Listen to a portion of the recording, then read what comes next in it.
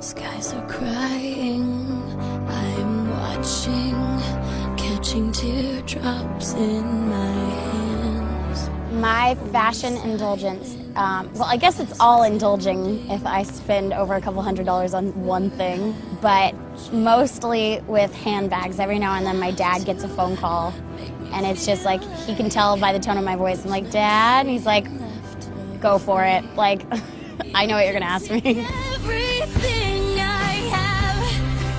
I. Don't have a favorite designer. I love Chanel. Chanel's one of my favorites. Yeah, and anything else that I just feel comfortable in. Like I'm made of paper.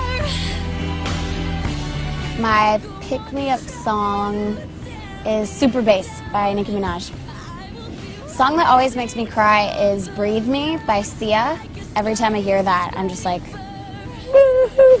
I cannot listen to it.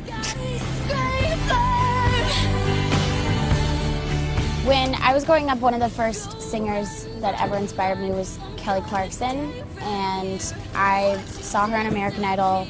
I went to all of her concerts, and she just totally inspired me to be half the musician that I am today. My album is taking a more mature route when it comes to singing about issues that I've dealt with over the past year, but it also is taking a more pop route instead of like going pop rock. It's more pop with R&B in it. It feels amazing. To be back in the studio is just so exciting for me. I'm getting to create and make new music, and I'm just so happy that, you know, I'm getting to do what I love for a living, and it doesn't feel like a job at all.